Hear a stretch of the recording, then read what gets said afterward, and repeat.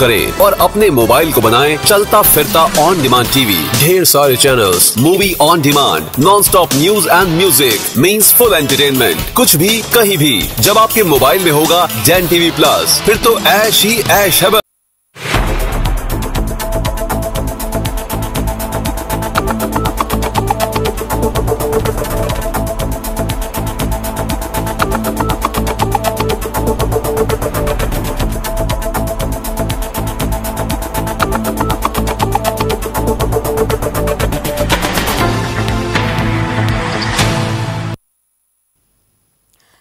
आप देख रहे हैं जमडी न्यूज़ और मैं हूँ आपके साथ गरिमा वाजपेयी और खबरों के विस्तार में जाएँगे उससे पहले एक नज़र आज की हेडलाइंस पर। सीएम योगी ने बाढ़ग्रस्त जिलों का किया हवाई सर्वेक्षण, उन्नाव, कानपुर नगर और फरुखाबाद का किया हवाई सर्वेक्षण। कानपुर में अमेजॉन ऑनलाइन शॉपिंग कंपनी ने ग्राहक के साथ की ठगी। ऑनलाइन बुकिंग के ज़रिए ग्राहक ने मंगवाया था सत्रह हज़ार का मोबाइल पैकिंग में निकला महज एक हज़ार कीमत का पावर कानपुर के परियर पुल से युवती ने गंगा में लगाई छलांग। पुल पर खड़ी स्कूटी से सुसाइड नोट हुआ बरामद और तलाश में जुटे गोताखोर कन्नौज के सौरिक इलाके में रफ्तार का कहर, बेकाबू कार के एक वाहन से टकराने पर हुई दो की मौत। दो लोग गंभीर रूप से घायल, दिल्ली से बिहार जा रहे थे हादसे के शिकार लोग। और अब खबरें विस्तार से। कन्नौज के छिब्रमऊ कोतवाली क्षेत्र में स्टेयरिंग फेल होने से प्राइवेट बस खाई में पलट गई। दरअसल छिब्रमऊ से इटावा के ऊंसा हार जाने वाली प्राइवेट डग्गामार बस सवारियाँ भरकर जा रही थी कि तभी ताजपुर रोड पर अचानक बस का स्टेयरिंग फेल हो गया और तभी हादसा हो गया और इस हादसे में छह सवारियाँ बुरी तरह से घायल हो गई और मौके पर पहुँची पुलिस ने घायलों को अस्पताल में भर्ती करवाया है।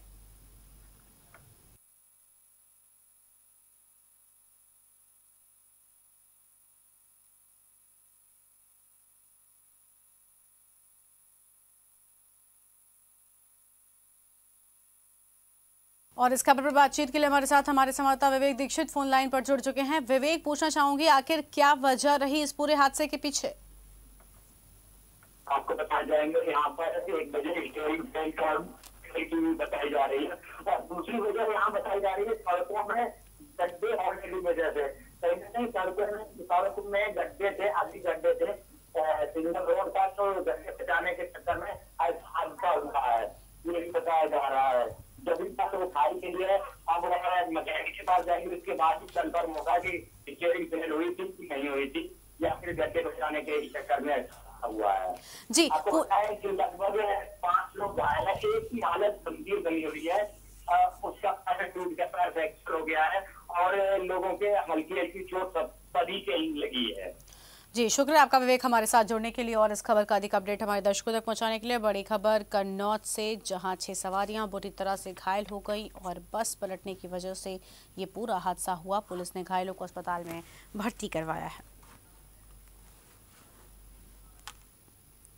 रेलवे बोर्ड के चेयरमैन अश्विनी लोहानी 9 सितंबर को शहर आकर सेंट्रल से मैदान तक निरीक्षण करेंगे और कानपुर रेल प्रशासन की ओर से भेजे गए 100 करोड़ के मास्टर प्लान की शुरुआत भी हो सकती है और जिसके तहत सिटी साइट पर three star hotel, underground parking, बहुआयामी बिल्डिंग समेत कई नई शुरुआत भी हो सकती है।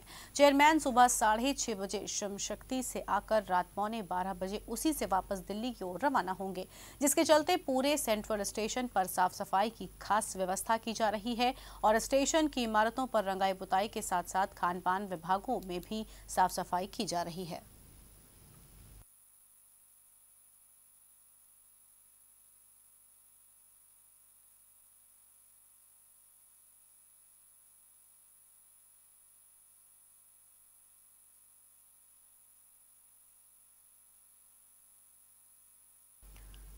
पाकिस्तान स्थित गुरु नानक जी का जन्म स्थान, जिसे गुरुद्वारा ननकाना साहिब के नाम से जाना जाता है, यहाँ पर दर्शन करने के लिए पाकिस्तान सरकार ने वीज़ा की अनिवार्यता को खत्म कर दिया है और इसकी जानकारी होते ही सिख समाज में खुशी की लहर दौड़ गई है। सिख समाज का कहना है कि पाकिस्तान के नव निर्वाचित प्रधानमंत्री इमरान खान ने पूरे विश्व के सिख समाज को एक बहुत ही बड़ा तोहफा दिया है, जिसके लिए वो उनका धन्यवाद देते हैं और आज़ादी के बाद से वहाँ दर्शन करने के लिए एक कोटा तय कर दिया गया था था और उस पर वीज़ा की अनिवार्यता भी थी और जिस कारण गरीब तबके का सिख वहाँ कभी भी नहीं पहुँच पाता, लेकिन अब हर सिख वहाँ पर आसानी से जाकर वहाँ के दर्शन कर सकता है।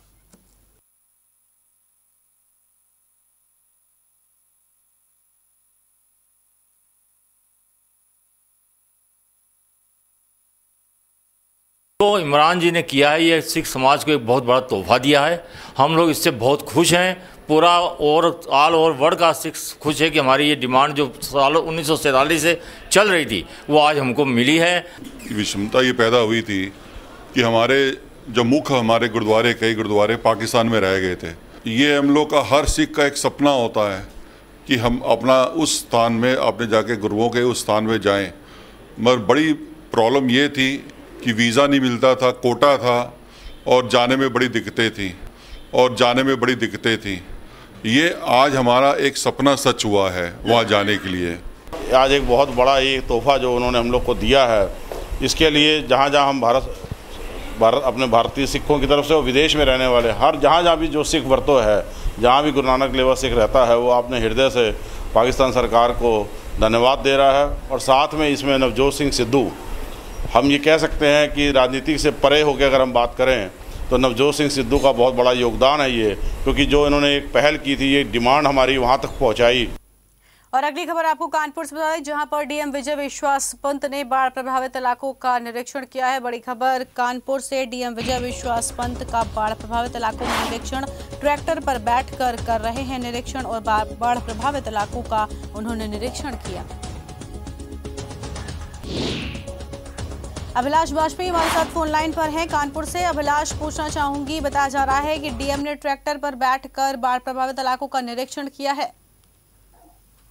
जी, बिल्कुल, देखिए, आज सुबह से ही जो जिला प्रशासन की टीम है, जो डीएम है और इसके अलावा जो सांसद है, यहाँ पे देवेंद्र सिंह गुले, ये सभी लोग आज सुबह से ही बाढ़ प्रभावित क्षेत्रों में सक्रिय है। सबसे पहले इन लोगों ने आज यहाँ पर जाकर निरीक्षण किया है और राहत सामग्री बांटी है बाढ़ पीड़ित परिवारों के लिए। इसके बाद डीएम स्वयं जो है अकेले उन्होंने एक ट्रैक्टर मंगवाया, उस ट्रैक्टर के माध्यम से पूरे गाँव के अंदर जहाँ जहाँ बाढ़ आई हुई है, वहाँ वहाँ जाकर निरीक्षण किया है। उनका ऐसा कहना है कि शासन से ऐसी रिपोर्ट मांगी गई है कि कहाँ किस तरह की समस्याएँ सामने आ रही हैं और उन समस्याओं को जल्द से जल्द निराकरण किया जाए। तो ये सारी चीज़ जो इसीलिए जो वहाँ पर मौके पर जाकर सारी स्थिति का जान रहे थे कि किस तरह की समस्याएँ हैं जिससे उनका निदान किया जा सके। जी। जी, शुक्रिया आपका बहुत बहुत हमारे साथ जुड़ने के लिए अभिलाष। इस खबर पर अधिक अपडेट हमारे दर्शकों पहुँचाने के लिए बड़ी खबर कानपुर से। डीएम विजय विश्वास पंत का बाढ़ प्रभावित इलाकों में निरीक्षण। ट्रैक्टर पर बैठकर खुद उन्होंने निरीक्षण किया और जायजा लिया बाढ़ प्रभावित इलाकों का। बड़ी खबर, कानपुर से डीएम विजय विश्वास पंत का बाढ़ प्रभावित इलाकों में निरीक्षण और खुद उन्होंने ट्रैक्टर पर बैठकर निरीक्षण किया है और सभी इलाकों का जायजा लिया, जो बाढ़ की चपेट में हैं।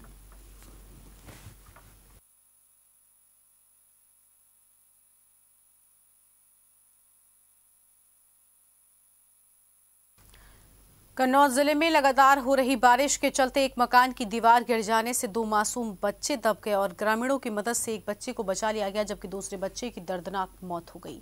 घटना तरवा कोतवाली इलाके के बरका गाँव की है। मृतक बच्चे के पिता ने आरोप लगाया है कि वो बहुत गरीब है और उसने कई बार कॉलोनी की मांग की, लेकिन उसे कॉलोनी नहीं दी गई।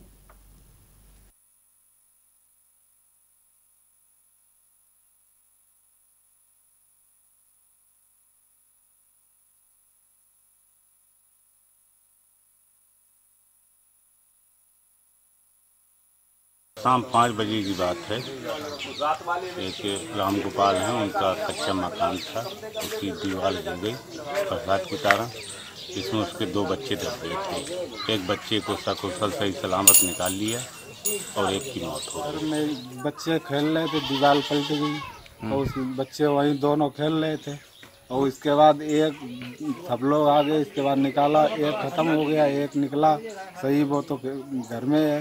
और इसके बाद सब कच्चे दीवारें थी सब पूरा कच्चा मकान बना सर। जिससे कहो वो का हमको क्या मतलब? बीस हज़ार रुपए बीस हज़ार रुपए दीजिए सर। तब मैं आवाज़ दूँगा। अगर मेरा आवाज़ बना होता तो ये हाथ हमीरपुर मुख्यालय में स्थित सरकारी सरस्वती विद्या मंदिर के छात्र और छात्राएँ विद्यालय में प्रार्थना के बाद छोटी छोटी टोलियाँ बनाकर निकले और इन टोलियों ने छोटे छोटे बाज़ार एवं सरकारी कार्यालयों में जाकर बाढ़ पीड़ितों की मदद के लिए आर्थिक सहायता की अपील की और टोलियों में निकले बच्चे केरल बाढ़ पीड़ितों की मदद की अपील की तख्तियाँ लिए हुए थे।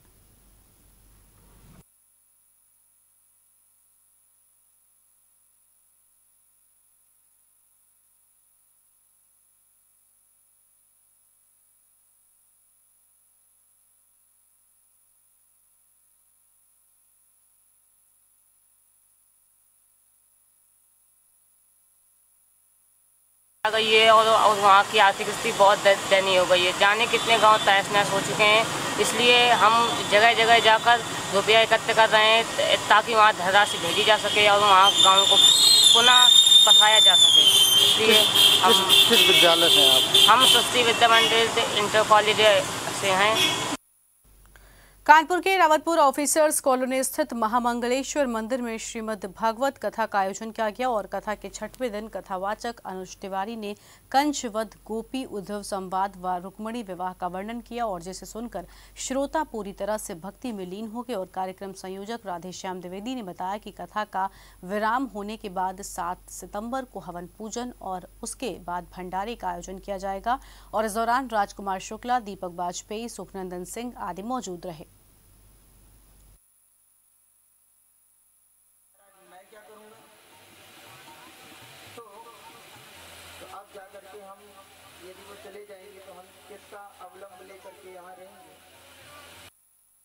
महापुराण की कथा चल रही है। कथा का सातवां दिन है। आज ही समापन है और कल शुक्रवार को भंडारे का आयोजन है और सुबह जो है वो हवन होगा। मुहर्रम पर निकलने वाले पैगी जुलूस को लेकर कानपुर जिला प्रशासन ने तैयारियाँ शुरू कर दी हैं और इसी के चलते जिलाधिकारी विजय विश्वास पंत ने कलेक्ट्रेट सभागार में ज़िले के सभी अधिकारियों के साथ बैठक की है और उन्होंने निर्देश दिए हैं कि जुलूस के रूट का समस्त विभाग सम्मिलित होकर निरीक्षण कर लें और जो समस्याएँ मिले उसे गुणवत्तापूर्ण कार्य कराया जाए और इस दौरान कराए जाने वाले कार्य की मॉनिटरिंग अपर जिलाधिकारी करेंगे और साथ ही उन्होंने कहा है कि जुलूस के दौरान जो भी बाइकों पर कलाबाजी करते मिलेगा उसके खिलाफ कड़ी कार्रवाई भी की जाएगी।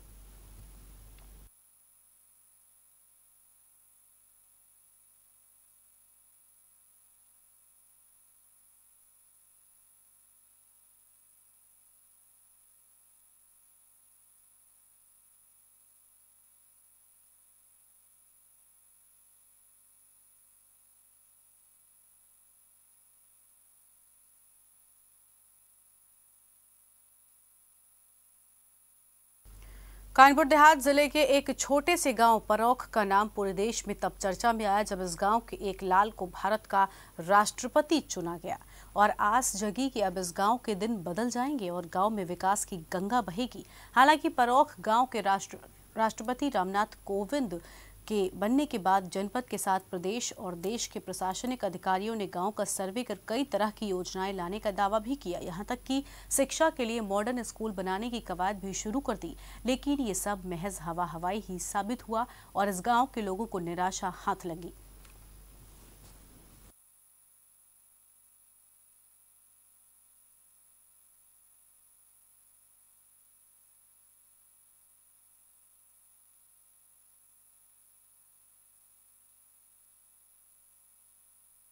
ये है हमारे यहाँ श्री राम शुक्ला के दरवाजे से पटेरे के आस पास होकर के कोई रास्ता निकलने के लिए नहीं पानी वहाँ पर करीब जो है, पाँच मीटर ऊँचा भरा हुआ है, रास्ता बिल्कुल जाम हो गया है।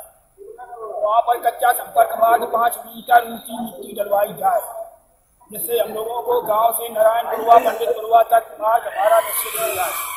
जाने के लिए बहुत दिक्कत मिलती गौशाला का प्रबंध हो क्योंकि जानवरों के चरने की इतनी बड़ी विकराल व्यवस्था बन गई है कि हम लोग रात दिन टाच लेकर के दिखाया करते हैं फ़सलें गाँव के लोग आज आए हैं किन समस्याओं को लेकर?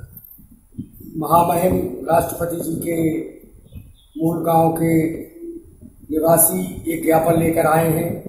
उसमें चिकित्सालय पशु चिकित्सालय सड़क गलियों का निर्माण पानी की व्यवस्था गाँव में गौशाला का प्रबंध। आज तमाम समस्याएँ हैं। मैंने ज्ञापन ले लिया है। जिलाधिकारी महोदय के संज्ञान में ला करके संबंधित विभागों को कार्रवाई हेतु यह ज्ञापन भेज फ़िलहाल रुकेंगे एक ब्रेक के लिए। देखते रहिए जेएमडी न्यूज़।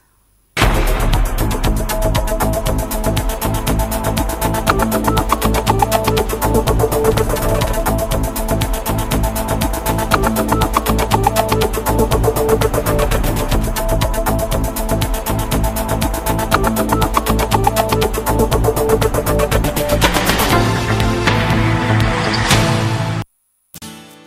के सौंदर्य एवं स्वास्थ्य के लिए टेक्नो फार्म का शी केयर सिरप स्त्रियों के मुश्किल दिनों का साथी शी केयर सिरप पिक्चर देखने चलोगी? ना बाबा सर और बदन में दर्द है। ये लो अजूबी। अजूबी? दर्द भगाए आराम पहुँचाए। अजूबी? कमाल की अजूबी। स्त्रियों के सौंदर्य एवं स्वास्थ्य के लिए टेक्नो फार्म का शी केयर सिरप स्त्रियों के मुश्किल दिनों का साथी शी केयर सिरप वो कुछ भी करें। आपकी परेशानी का होगा हल। बड़ा से बड़ा अपराध करें। हम उठाएँगे आपकी आवाज़। और उन्हें सजा न दी जाए। देखते रहिए पब्लिक फोरम सिर्फ़ जेएमडी न्यूज़ पर। डॉक्टर रमेश वर्मा के साथ। गॉसिप्स के गलियारों का हाल। फिल्मी सितारों की हर वो बात। पर्दे के पीछे की कहानी। हम लाएँगे सिनेमा की जुबानी। सिर्फ़ खबर फिल्मी पर। देखिए शाम साढ़े चार बजे सिर्फ़ जेएमडी न्यूज़ पर। इंडियन हिस्ट्री में पहली बार। डेन का डिजिटली महाअवतार अब आपके मोबाइल में होगा मनोरंजन का अनोखा संसार। गूगल प्ले स्टोर या आईओएस से डेन टीवी प्लस डाउनलोड करें और अपने मोबाइल को बनाएँ चलता फिरता ऑन डिमांड टीवी ढेर सारे channels movie on demand non stop news and music means full entertainment कुछ भी, कहीं भी। जब आपके मोबाइल में होगा डेन टीवी प्लस फिर तो ऐश ही ऐश है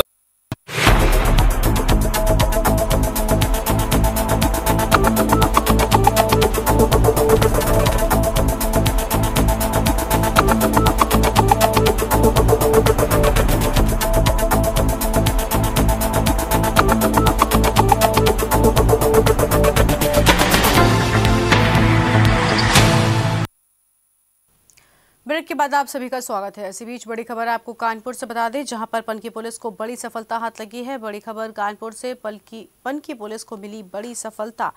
200 ग्राम स्मैक के साथ बरामद हुई है। आपको बता दें कि अंतर जनपदीय बाज़ार में स्मैक की कीमत 20 लाख और एक आरोपी भी गिरफ़्तार किया गया है और 200 ग्राम स्मैक बरामद की गई है। बड़ी खबर कानपुर से, पनकी पुलिस को मिली बड़ी सफलता।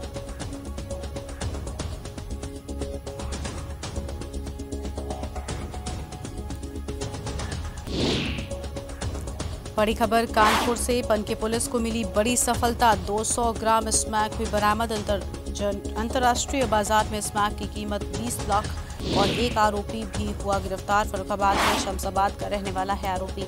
अमन हमारे साथ फ़ोन लाइन पर जुड़ चुके हैं। कानपुर से अमन, पूछना चाहूँगी, क्या कुछ पूरा मामला है?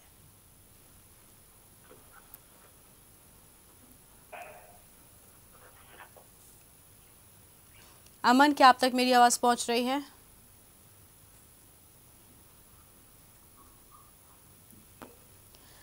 ये पूरी खबर कानपुर से। पनकी पुलिस को मिली बड़ी सफलता। 200 ग्राम स्मैक बरामद की गई है और साथ ही एक आरोपी को गिरफ़्तार किया गया है। अंतर्राष्ट्रीय बाज़ार में स्मैक की कीमत 20 लाख। फरुखाबाद से कानपुर लाकर बेचता था माल और फरुखाबाद के शमशाबाद का रहने वाला है आरोपी।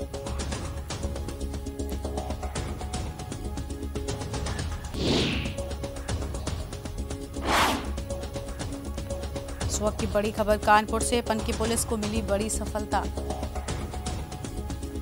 अमन हमारे साथ फ़ोन लाइन पर जुड़ चुके हैं कानपुर से। अमन पूछना चाहूँगी क्या कुछ पूरा मामला है? क्या सफलता पुलिस को मिली है? बिल्कुल मैं आपको बता दूँ पूरा मामला पनकी थाना क्षेत्र के न्यू ट्रांसपोर्ट नगर का है जहाँ गश्त के दौरान पनकी पुलिस को बड़ी सफलता मिली है।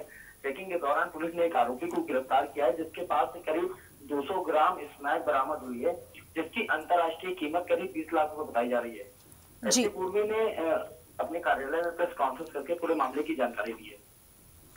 जी पूछना चाहूँगी अमन बताया जा रहा है कि आपने जैसा, जैसा कि आपने बताया कि 20 लाख रुपए की उसकी कीमत है और एक आरोपी भी गिरफ़्तार किया गया है तो क्या आरोपी से अभी तक पूछताछ की गई? क्या लगता है कि क्या उससे पूछताछ के बाद इस पूरे गिरोह के और भी जो और भी लोगों को पता चल सकता है? क्या उसके गिरोह का भंडाफोड़ हो सकता है?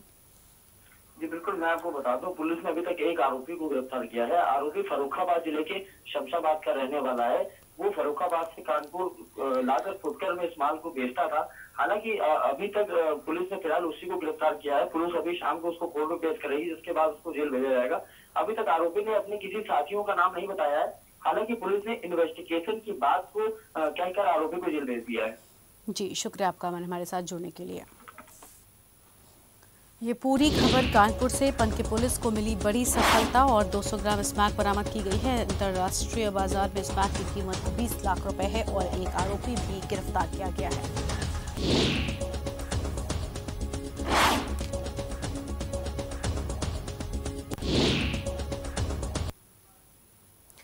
अब रुक करेंगे अगली खबर की ओर। कन्नौज में रिटायर्ड पुलिसकर्मी से लाखों की ठगी का मामला सामने आया है। ठगी की तस्वीरें बैंक के सीसीटीवी में कैद हो गई और फुटेज के आधार पर पुलिस ने ठग की तलाश शुरू कर दी है।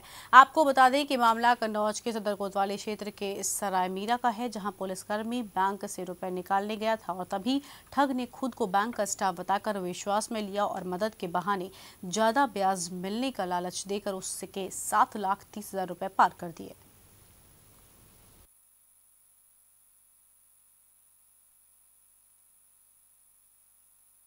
रिटायर्ड पुलिस विभाग से रिटायर्ड कर्मचारी है एस हैं जो फरुखाबाद के रहने वाले हैं जो यहाँ सराय मीरा स्थित एस से अपना पैसा निकालने के लिए आए थे। एक आदमी ने इनके साथ धोखाधड़ी कर करके पैसे ले लिए हैं। इस नाम से कि हम पैसे आपके फिक्स करा देंगे। इससे उन, उन्होंने पैसे निकाला है। कुछ पैसे उसने सत्तर हज़ार इनको दिए हैं बाकी सात लाख तीस हज़ार रुपया वो फिक्स कराने के नाम पर लेकर के इनसे चला गया क्या सर कुछ पहचान हो पाई है या कुछ? सुराग लगा। कुछ फुटेज मिले हैं, कुछ डेवलपमेंट किया जा रहा है, बाकी हमारी टीमें लगी हुई हैं। जैसा कि इनका बताना है कि वो पिछले शनिवार को भी इनसे यही मिला हुआ था और पैसे निकाल करके फिक्स कराने के नाम पर ही उनसे पिछली बार भी पैसे मांगा था। आज भी उसी तरीके से उनसे पैसे वो मांगा जालौन ज़िले में दंगे की स्थिति से निपटने के लिए किए गए रिहर्सल में कई तरह की खामियाँ उजागर की गई हैं। दरअसल पुलिस लाइन में पुलिस अधीक्षक डॉक्टर अरविंद चतुर्वेदी ने सभी थाना थानाध्यक्षों, सीओ, अपर पुलिस अधीक्षक की मौजूदगी में दंगा नियंत्रण में इस्तेमाल होने वाले आँसू, गैस और पैलेट गन को ट्रेनर के साथ बारीकी से परखा है। हालाँकि पुलिस अधिकारियों द्वारा चलाते समय कुछ आँसू, गैस के गोले निष्क्रिय साबित हुए और ऐसे में ज़ाहिर है कि दंगे की स्थिति में काम न कर पाने की वजह से पुलिस विभाग के रखरखाव पर सवालिया निशान भी खड़े हो जाते हैं।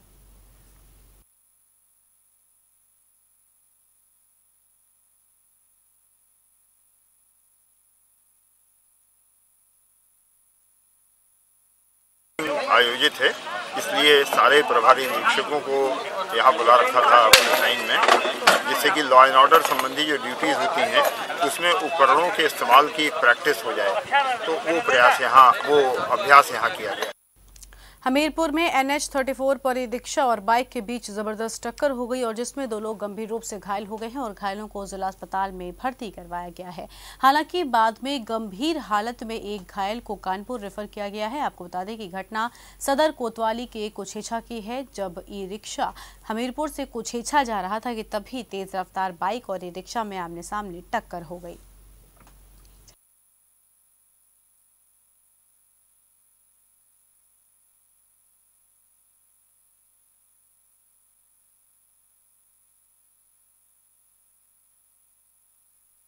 सवार तेज रफ्तार से आ रहे थे ई में फंस जाने के कारण चोटें काफ़ी लगी हुई जो सदर अस्पताल में इलाज चल रहा है, और एक की गंभीर रूप से हालत खराब है, जो कि कानपुर रेफर किया है। दूसरा, ठीक है। बांदा में यूपी पुलिस एक शव को बैटरी रिक्शा में लेकर पूरे शहर में घुमाती रही, लेकिन किसी का भी ध्यान इस ओर नहीं गया। दरअसल, शहर के महामाई मोहल्ले में एक युवक की कुएँ में गिरने से मौत हो गई और मौके पर पहुँची पुलिस ने शव को पोस्टमार्टम के लिए भेजा है, लेकिन पुलिस शव को रिक्शे में लेकर पूरे शहर में घुमाते हुए पोस्टमार्टम हाउस ले गई और परिजनों के मुताबिक उन्होंने कहा कि शव को एंबुलेंस में ले जाए, लेकिन पुलिस वालों ने बोला कि एंबुलेंस खाली नहीं है।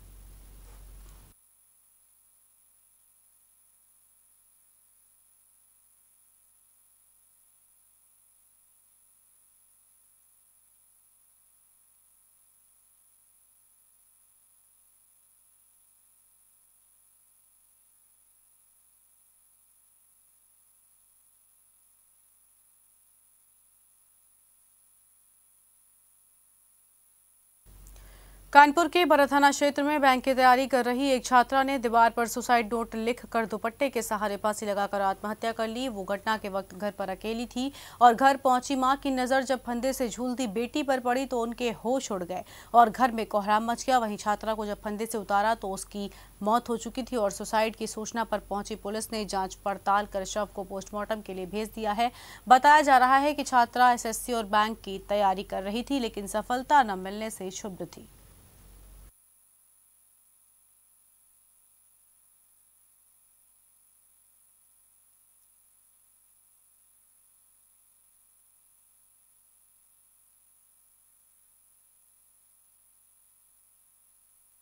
बस जा रहा था यहाँ से तो रास्ते में भीड़ लगी देखी तो मैं रुक गया। देखा यहाँ पे कि नेट कर वो फांसी लगा ली है। किसने लड़की ने? हाँ लड़की ने फांसी लगा ली है। क्या वजह है? कुछ पता चला? हाँ जॉब की टेंशन के चक्कर में। और इसके चक्कर में मैं बैंक बैंक की शायद सुना तैयारी वारी कर रही थी। इस चक्कर में उसको नौकरी नहीं मिली इस चक्कर में बेरोजगारी चक्कर में फांसी लगा ली। और अगली बड़ी खबर आपको कानपुर से बता दें, जहाँ पर ट्रेन के आगे कूदकर आत्महत्या का प्रयास किया है। एक युवती ने बड़ी खबर, कानपुर से ट्रेन के आगे कूदकर युवती ने किया आत्महत्या का प्रयास और युवती को जीआरपी जवानों ने बचाया। माता पिता की मौत के बाद से परेशान थी। युवती दिल्ली के मालवीय नगर की रहने वाली है, युवती। इस वक्त की बड़ी खबर, कानपुर से ट्रेन के आगे कूदकर युवती ने की आत्महत्या का प्रयास किया है उसने और युवती को जीआरपी जवानों ने बचा लिया है और माता पिता की मौत के बाद से ही युवती परेशान थी। आपको बता दें कि वो दिल्ली के मालवीय नगर की रहने वाली है। इस वक्त की बड़ी खबर, कानपुर से ट्रेन के आगे कूदकर युवती ने आत्महत्या का प्रयास किया। युवती को जीआरपी जवानों ने बचा लिया है। माता पिता की मौत के बाद से ही परेशान थी युवती, जिसके चलते उसने ट्रेन के आगे कूदकर, युवती से आपको बता दें कि ट्रेन के आगे कूदकर उसने आत्महत्या का प्रयास किया है।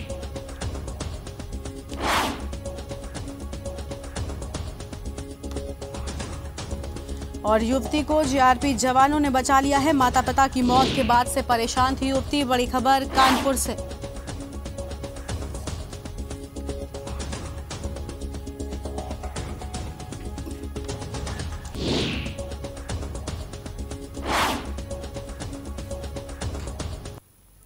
फ़िलहाल खबरों के इस बुलेटिन बस उतना ही। आप देखते रहिए जेमडी न्यूज़, आमजन की आवाज़। नमस्कार।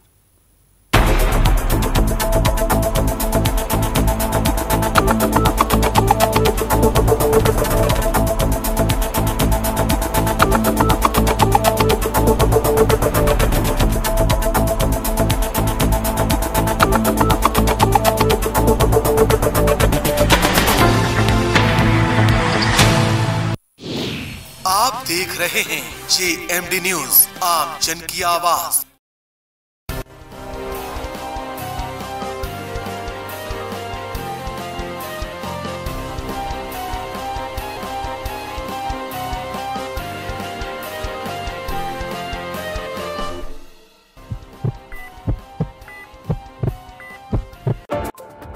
Media has changed and so is the tool.